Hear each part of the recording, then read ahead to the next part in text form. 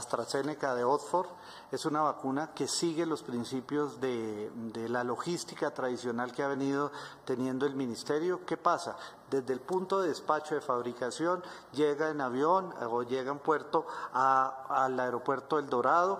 En el aeropuerto El Dorado se baja en contenedores debidamente preparados, se lleva a las bodegas centrales eh, del ministerio que quedan cerca del aeropuerto. En ese mismo sitio se hace el proceso de nacionalización de la vacuna. La bodega tiene eh, alrededor de 2.000 metros cuadrados, contemplada en tres espacios, un espacio en un área seca para el tema de almacenar jeringas, diluyentes, medicamentos, un espacio de congelación con, eh, en el cual hay dos congeladores, dos refrigeradores de 2 a 8 grados, hay un ultracongelador de 20 grados utilizado para la vacuna de polio y hay un gran refrigerador con tres espacios, dos de refrigeración y uno de congelación y adicionalmente una tercera área donde se desempeñan todas las labores administrativas. La vacuna llega a esa bodega donde se hace todo el proceso de organización. Esta bodega central permite el almacenamiento de 50 millones de, de vacunas. En este momento tiene una, un tope,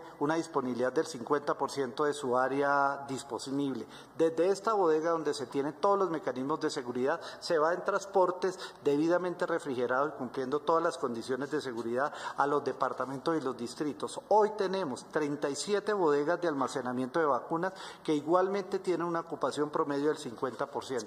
Todas estas bodegas están certificadas por la OPS, certificadas por el INVIMA y cumplen todos los requisitos de habilitación.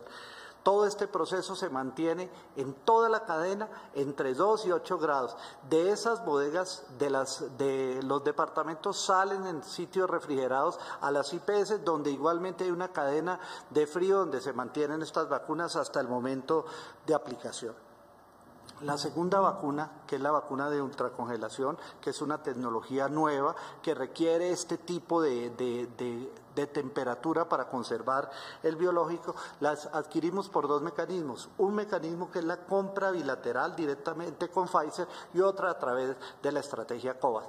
En el mecanismo bilateral que pudimos eh, trabajar en todas las negociaciones, se determinó una logística distinta. Voy a mencionar esta primera. Eh, la vacuna llega, la vacuna llega al aeropuerto desde las plantas de Estados Unidos y Bélgica eh, a un punto determinado del Ministerio de Salud.